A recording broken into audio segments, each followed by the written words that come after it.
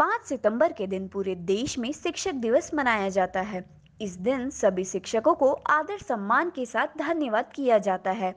लेकिन इस शिक्षक दिवस के दिन झारखंड शिक्षण पात्रता परीक्षा पास किए अभ्यर्थी अपना प्रमाण पत्र राजधानी रांची के मोराबादी मैदान में जला रहे हैं।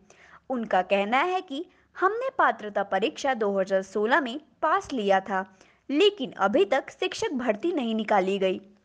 वहीं जेटित उत्तरी अभ्यर्थी परिमल कुमार ने कहा कि शिक्षक दिवस खुद में एक शिक्षक की गरिमा होती है, जिस प्रकार सरकार प्रवासी मजदूरों को ला रही है, गरीबों को राशन प्रदान करने के लिए राशन कार्ड की व्यवस्था कर रही है। ठीक उसी प्रकार शिक्षक बनने के लिए सारी पात्रता प्राप्त करने के बावजूद हमें नौकरी नहीं दी जा रही, जबकि शिक्षक देश का भविष्य होता है और देश एवं राज्य के विकास में उसकी अहम भूमिका होती है।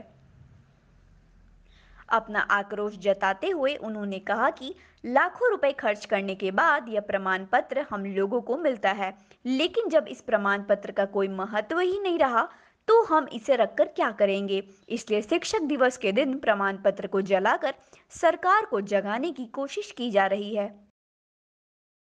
चाहते हैं।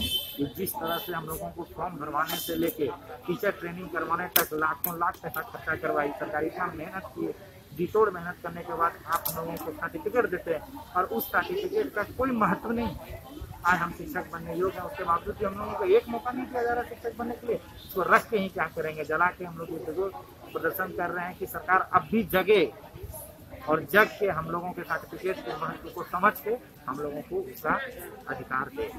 न्यूज़ एम इंडिया से संतोष भारती की रिपोर्ट।